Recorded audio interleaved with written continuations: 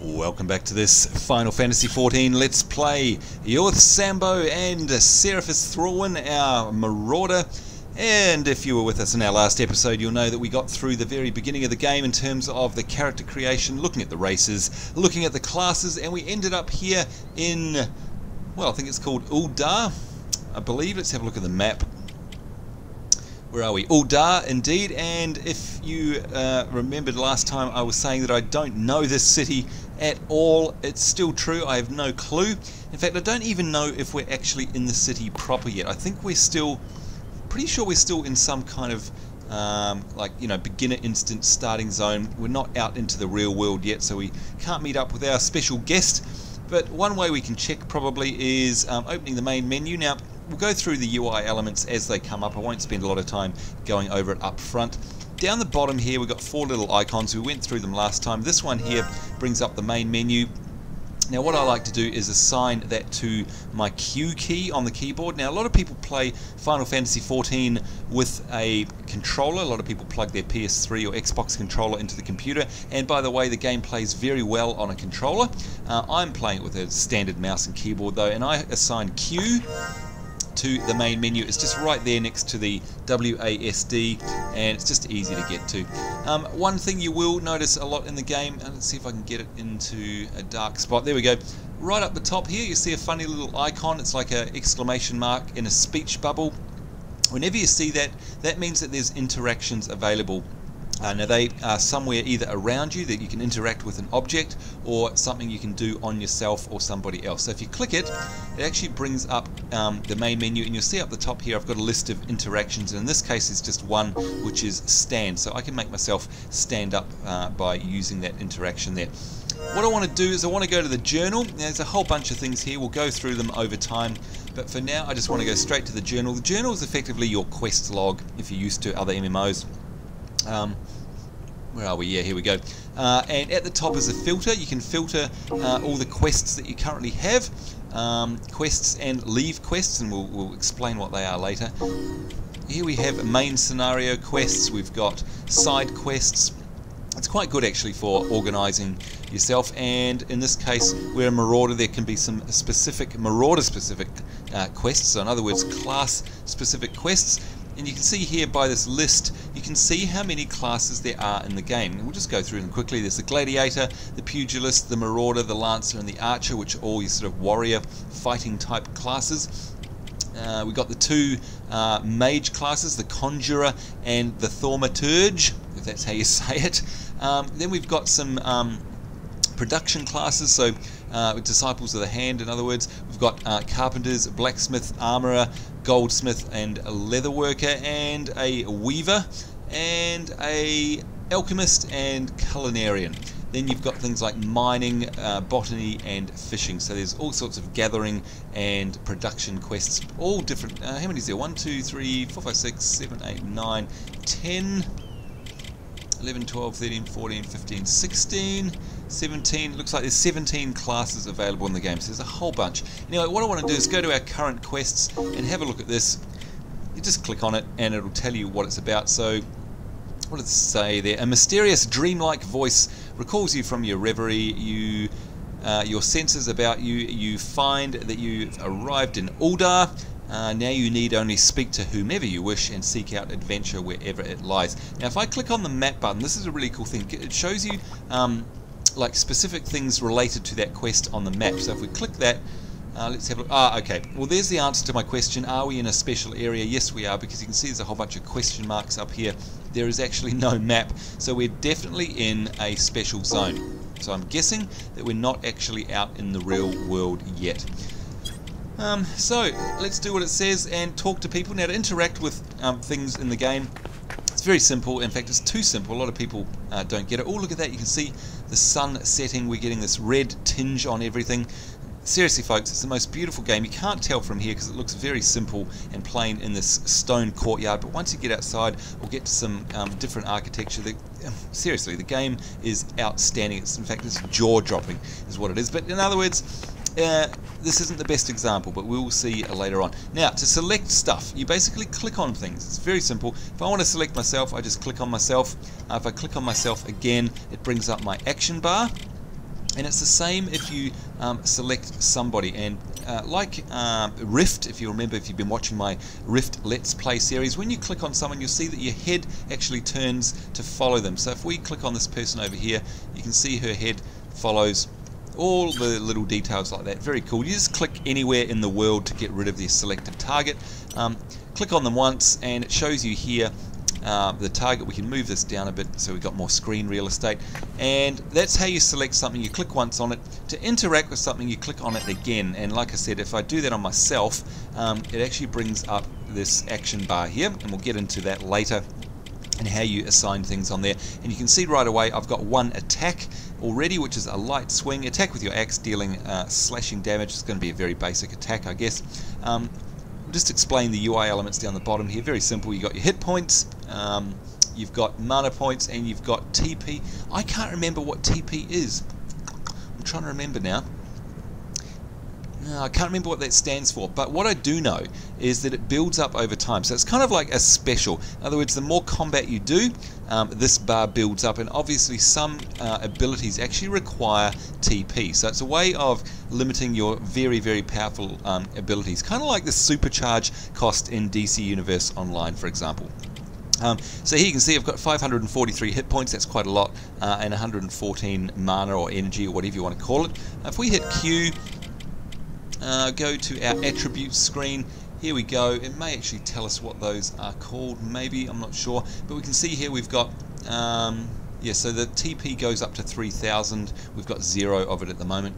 Um, we've got strength vitality dexterity etc etc it tells you what your attack and defense and magic potencies are and also you have a whole lot of elements here. And again we'll get into that later on but they've got stats assigned to them. Accuracy evasion and magic accuracy. So um, melee accuracy and magic accuracy are actually different. Uh, we've got our skills here. It says that we are a that's all our what is it marauder. We've got one skill. So these are icons of all the classes here.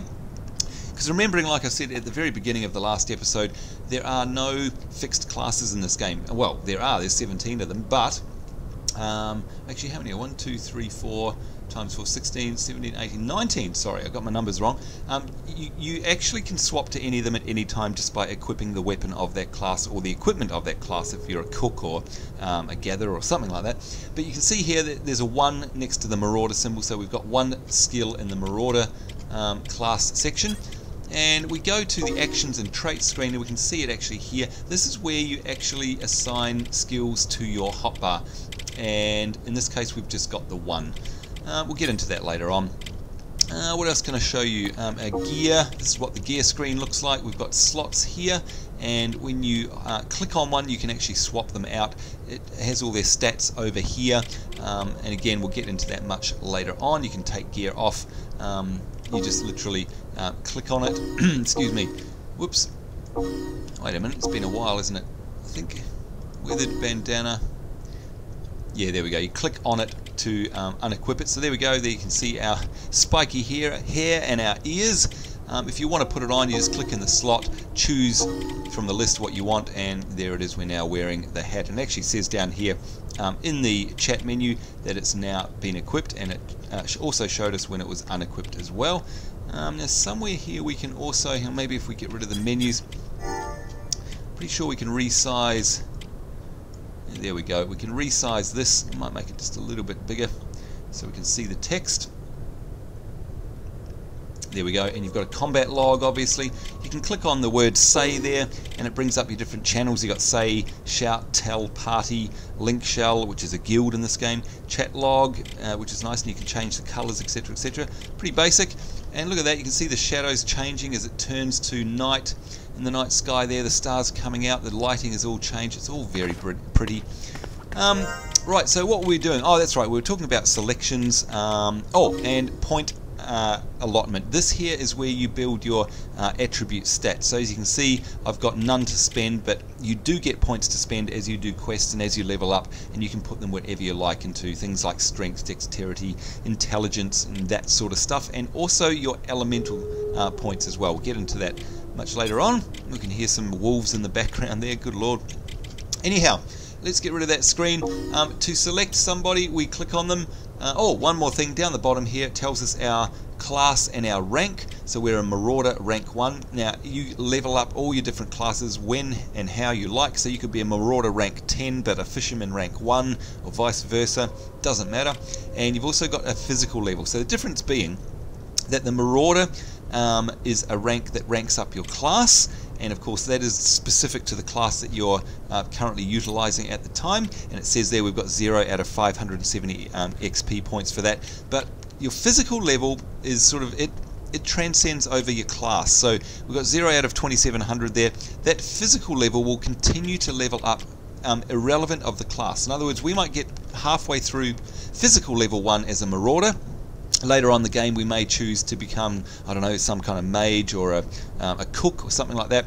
As we do stuff in that particular um, uh, class uh, as we fight monsters and all the rest of it our physical level will still go up. So we may gain the rest of physical level 1 and get to level 2 um, as a different class. So I hope that made sense. It'll make sense as we uh, get through the game. So once again click on something and then click on it again. So let's click on this person Click on them again to interact with them. Whoops. and they start talking. So it says there's a hamlet nearby I'm trying to reach. Might there be somewhere my coin could find a chocobo to see me there? You just click on them again uh, to either dismiss it or to cycle through the various um, texts. So we won't read everything obviously, but we do need to talk to people because we're trying to figure out what we need to do. No, I missed the fireworks. She's talking about fireworks. Who else can we talk to? Let's just follow the trail of people, shall we? A fretful farmhand. So they're just giving us some uh, flavour conversation at the moment. No actual quests have popped up. Surely you didn't come all this way to watch the festivities alone. Perhaps we could enjoy some of the festivities of our own. Goodness me, I'm happy to take your arm and more for a time. You deserve a proper welcome to you, Ul'dah fair lady that you are. Um, I can please you as well as any man, though from the looks of it you don't have the coin. Uh, a shame that. Mm. Okay, so she's obviously a lover of the ladies. Very cool armor though. I mean, you can see there. Let's see if I can zoom in close enough without it disappearing. For example, the stitching on her arm there, you can see the individual metal rivets around the stitching holes. Um, you can see the thread in the cap. It's just absolutely amazing. Really cool stuff. Really beautifully designed, like all Final Fantasy games. The architecture, the layout, the clothing, the class, everything is just top notch.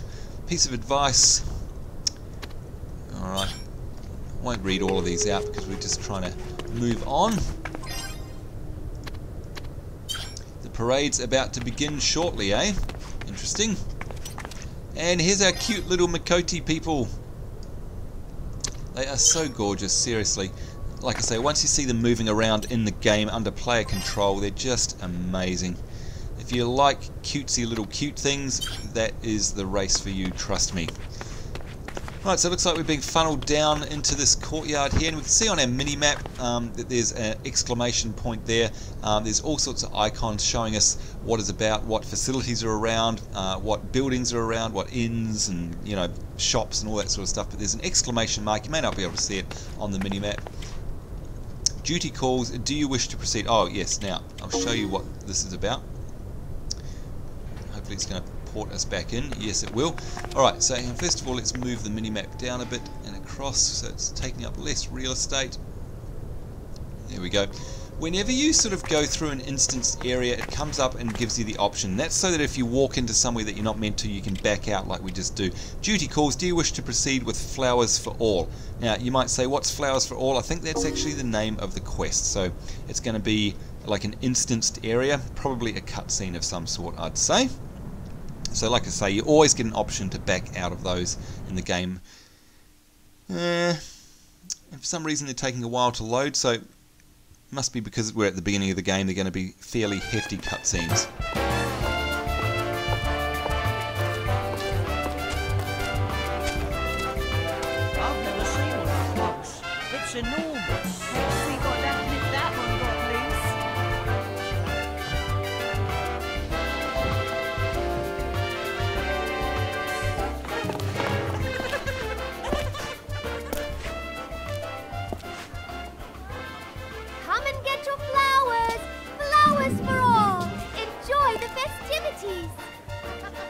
What kept you?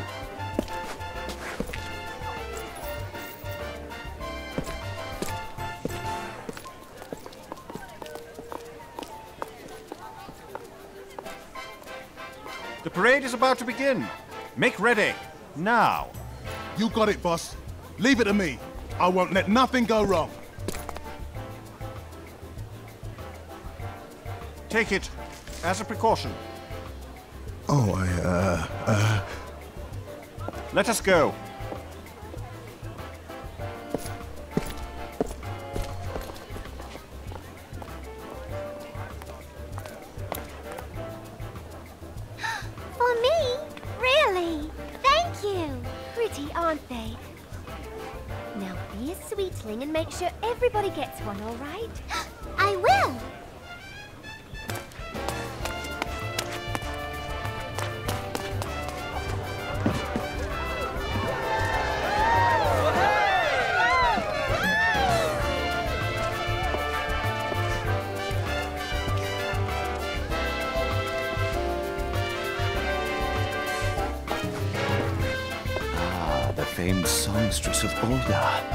Flowers do grow in the desert.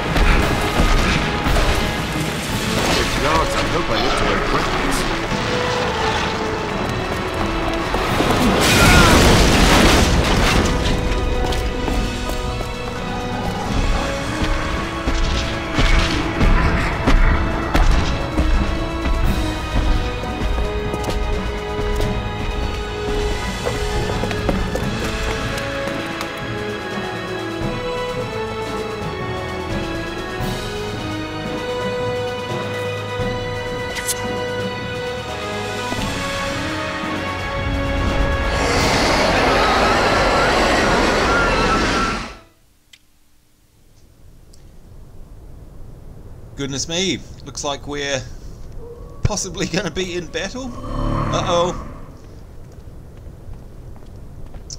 Engage the enemy by entering active mode. Alright, so this is our first sort of combat tutorial, I guess. And you can see down the bottom here we've got two party members with us.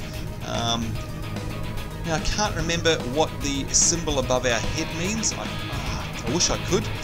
We'll get there eventually, folks, I guess. But anyway, oh, it's that possibly. What does that mean? Help. That's what it is. Let's click help.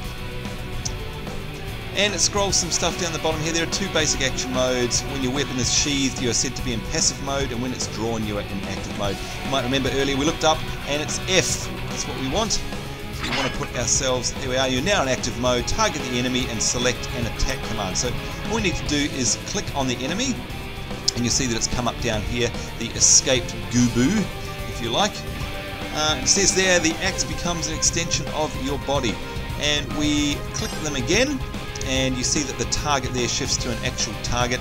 We've got a stamina gauge here as well, which I'll talk to you about in a minute, and we have a light swing. So what's going to happen is start the battle. It says, whoops, zooming in and out.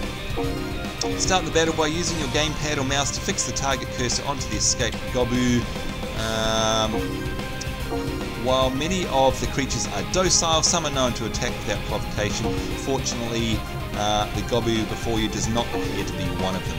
So that's good. But look at the graphics. I don't know if you can see that on the YouTube video, but it's absolutely incredible. I mean, it looks like a rendered cutscene. It's absolutely amazing. Anyway, it says here each type of attack has a specific range of effectiveness, effectiveness blah, the distance between you and the target, as well as the direction you're facing, combined to determine whether or not you will be able to land an attack. So that's important. You have to be facing you have to be within the right distance. And you've got this stamina gauge here. Um, basically, as you fight, you'll see this gauge going up and down. Um, attacks actually take um, stamina. You can see when, whoa, it's going to go right through us. Incredible looking. If I hover over the um, light swing here, you'll see it actually comes up over the stamina gauge there. You can see it popping up, maybe not. Um, and we have to manage that as well. So it's like an active time battle in other Final Fantasy games. You have to wait for it to build up before you can actually attack. So let's try anyway, see what happens. There we go, and you saw it go down a little bit and then come up again. You've engaged the enemy in combat. Its name is now red. So we can keep basically attacking. Now I'm just clicking on one here. And we've got a critical there. We can actually just hit one on our keypad.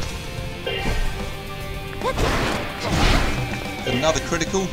And we can keep going as long as there is stamina. Now, of course, it's very simple at these um, early times because we've only got one attack and the monster's not actually fighting us back. One thing you may have noticed there is as I move around, because I've got it, because I've basically clicked twice on that monster, I'm going to continually face it. So I can get behind it, for example, and then hit one. And you'll see that there it says the target is too far away. So if I get in closer, I might be able to attack from behind. Yes, we can. Let's do it again.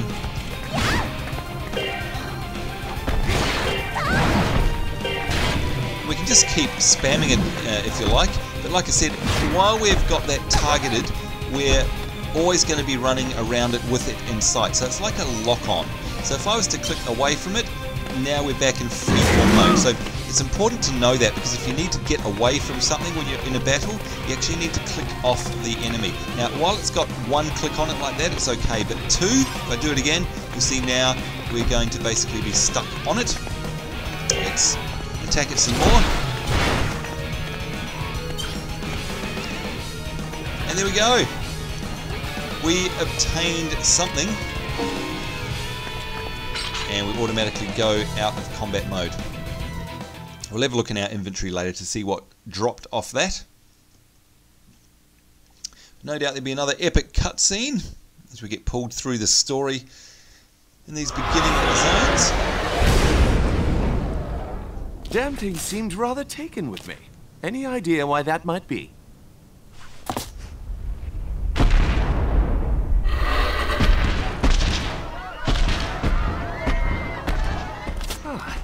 And now our guest requests an encore.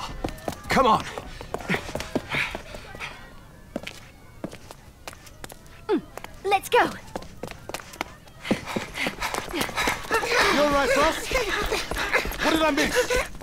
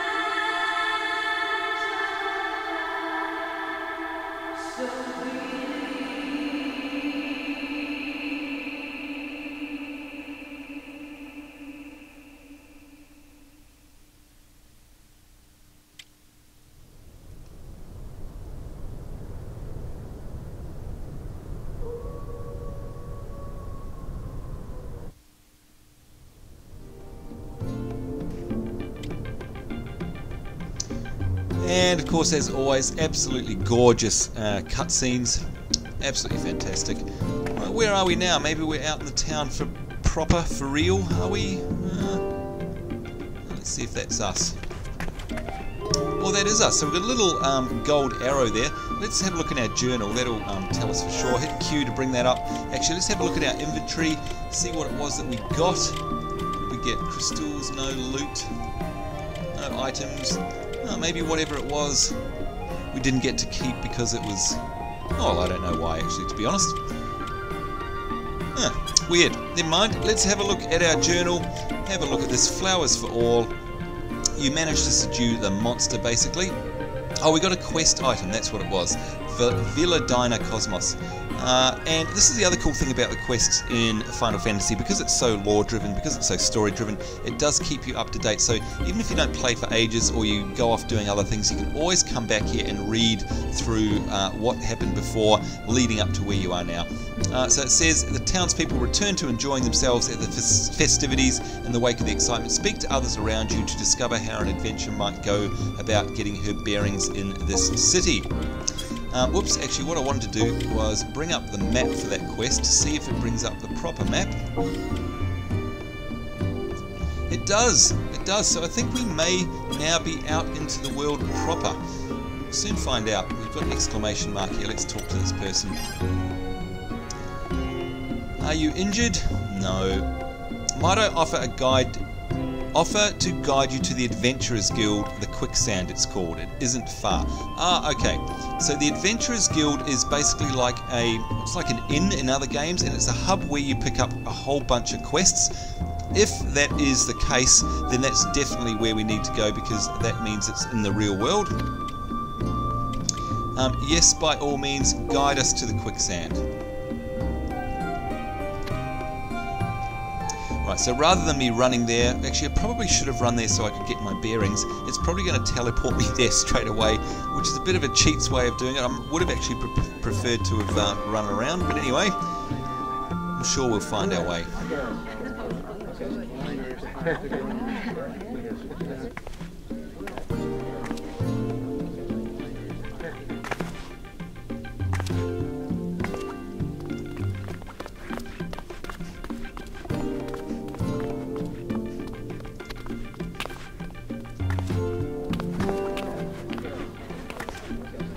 Right, so she's saying her name's Momodi, um, if it please you, and it's my stock and trade to help out green adventurers such as ourselves.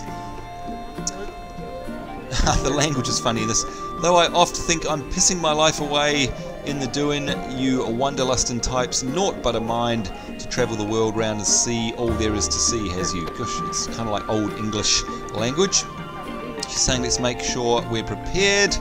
Um, wealth, fame, and glory is all here for the taking. That's good.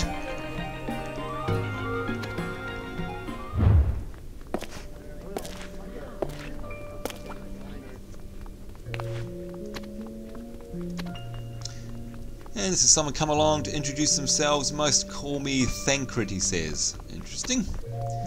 Of course, he was the person that was uh, helping us out at the fair when the monster broke loose.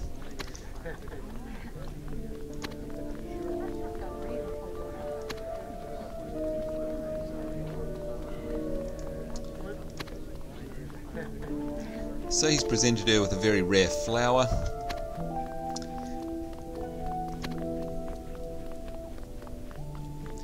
And she's saying that some folks seem to think it was the Garleans behind that rampaging beast at the parade.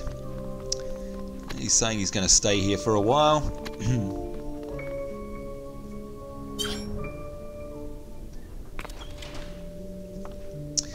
And it looks like we are in the world proper, perhaps, I don't see any other players around. Now, I must say that the architecture, whilst it's very cool, obviously, um, is nothing like I'm used to in Gridania, Gridania, or however you say it. Uh, that's if I am in the world proper. I might still be in some kind of starting zone, maybe.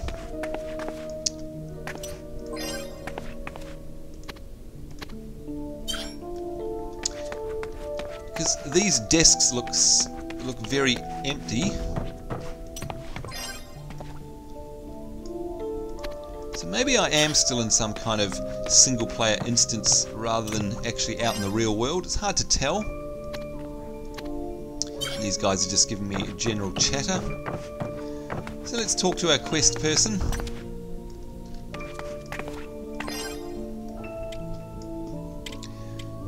Small talk.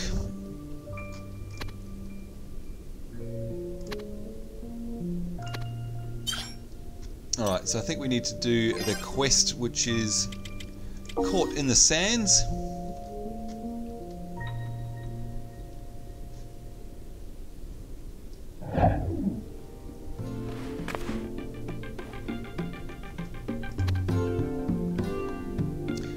So she's saying that there's only one thing we really need to know and that's how to fatten our pockets. And the first thing she's saying to do is joining a guild.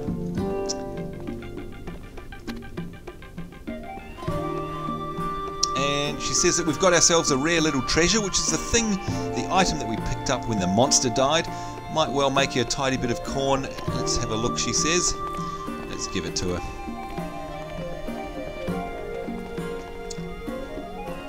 And she's giving it back to us.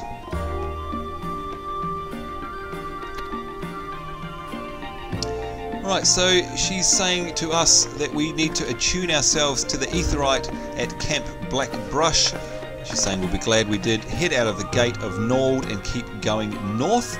Now, that's something that we'll come across um, various camps around the place um, out in the wilderness. Well, they were in Gridania anyway, and they have these aetheryte crystals in the center of them basically they serve a number of purposes. They're kind of like a hearthstone, number one, so you can attune yourself to one and always hearth back to it, or teleport back to it. Um, and they also offer to serve quests, uh, leve quests, and we'll get into that later on. And you can also teleport between anyone that you've previously been to, so it's like a really quick way of getting around. So we need to go to Camp Black Black Brush and go north out the gate. Here I'll even mark it on the map. Oh, that's handy of her though it's got a bunch of question marks, so that didn't really help at all. And a link pearl, you can use it to contact me if you ever need a bit of advice. I'll show you what the link pearl is in a minute. Um, oh, she's run off.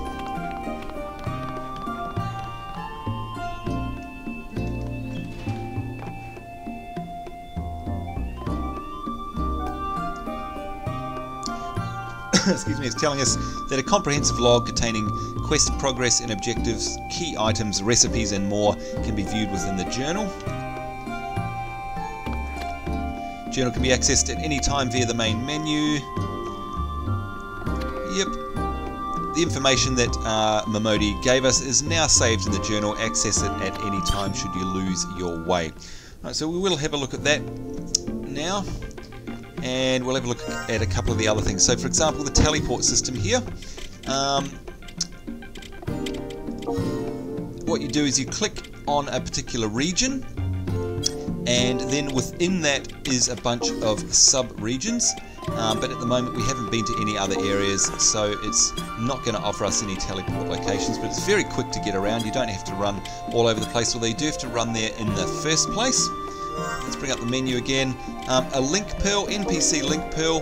Basically, this is like a sort of oh, telepathic link with Momodi, who's over there behind us. Wherever we are in the world, we can click on that link pearl and she'll tell us relevant things that we need to know. And of course, throughout the beginning of the game, it serves as a bit of a tutorial guide. So she's saying you've already worked how to, out how to use the link pearl. Um, maybe we're not as stupid as they look. Be a brave lass now and make your way to the aetheryte at Clamp, Camp Black Brush. Um, best way there takes you out through the gate of Nald. Expect to run into some foul things beyond the city walls. So I guess we've got to head north out this gate. Um, that'll do. And let's have a look in the journal. So there it is, caught in the sands. And yes, Momodi has urged us to venture forth to Camp Black Brush, Brush rather. Wish I could talk properly. And if you click on the map, it should bring up a map showing you the relevant points. Now, unfortunately, we're not out in that world yet, but you can see um, that we're down here in Ul'dah. So what we will have to do is run up north and go up that path, and we'll end up uh, in that area there, which is where the camp is. And by the way, we should be able to. No, we can't zoom out, can we? No, but it looks like it's a very large world. It does, and I think it's desert as well, by the way. Not 100% sure.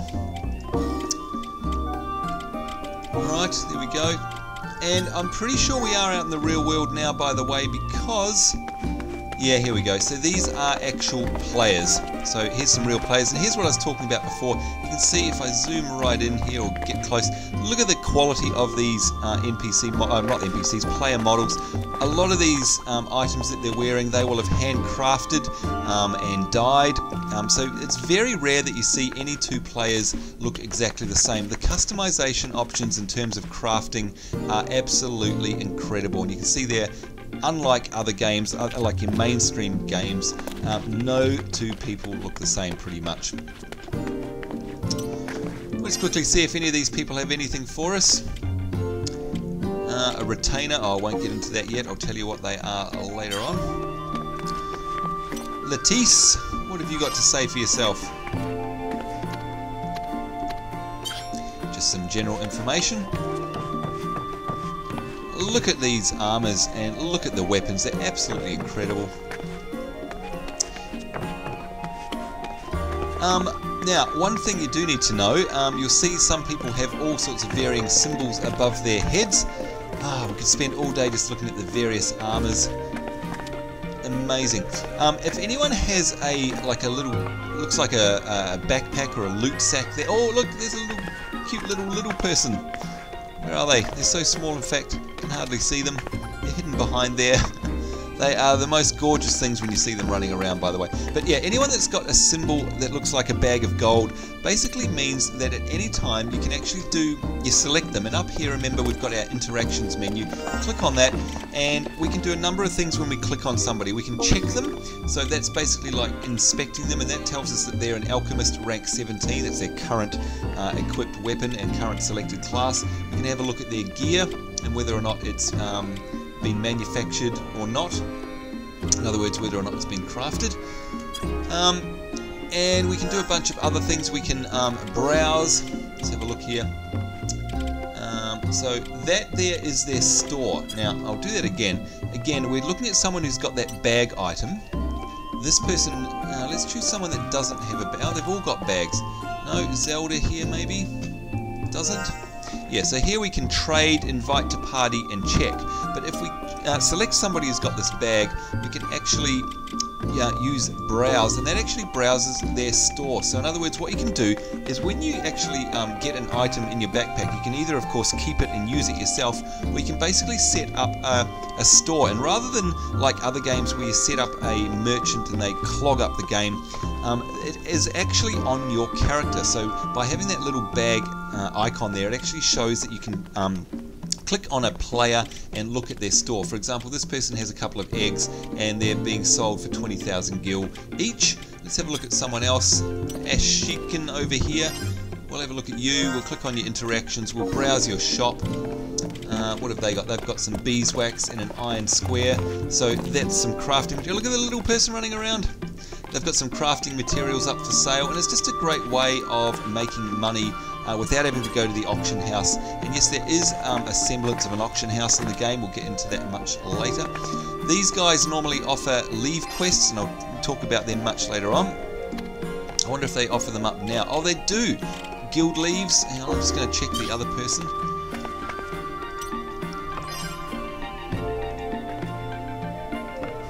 Leaves for regional. Oh, yes, they do. Okay, so basically, there's some things that we can pick up here. Uh, we'll do that in the next episode because we've all gone way over time. Uh, we know that we need to head north. Um, and we can tell on our mini map which way we're headed because there's kind of like a cone of light um, coming out in front of us. Now, like I said, I must say this city is, is absolutely nowhere near as amazing as Gridania. Unfortunately, it's all very um, stone. I mean, I know it's meant to look like this. Um, oh, look at the armors. Absolutely incredible. Um, but it's much more beautiful in Gridania. Perhaps what we might do, we're going to stay here, of course, we're going to meet up with our friend, and we'll add her to our friends list and see if she's online at some point for our next episode. Um, but what we will do at some point is I'll load up my other toon so you can actually see what it looks like in a really, really, really pretty environment. I mean, this is very nice, course, but it's uh, keeping in style with that sort of um, English medieval look. Whereas Gridania is, like I said, it's kind of like going to the House of Elrond, very elvish, very outdoors, very naturey, very pretty. Um, whereas I wouldn't call this pretty. Anyhow, that's enough for us in this episode. Hopefully, next time we'll be joined by, by our special guest. We'll pick up some quests, which are um, leve quests and guild leves. Uh, we'll meet up with our friend and we'll head out into the big wide world. But of course, until then, I hope you enjoyed this episode. Uh, if you've never seen Final Fantasy XI or Final Fantasy XIV, it may all seem a bit strange to you. Um, hopefully, these series of um, Let's Plays will um, show you the game, what it's like, get deeper and deeper into it, and whether or not it's something you'd like to play. Um, but please stick around, join us for the next episode. And of course, until then, it's me, Sambo, saying take care, see you later, and bye bye.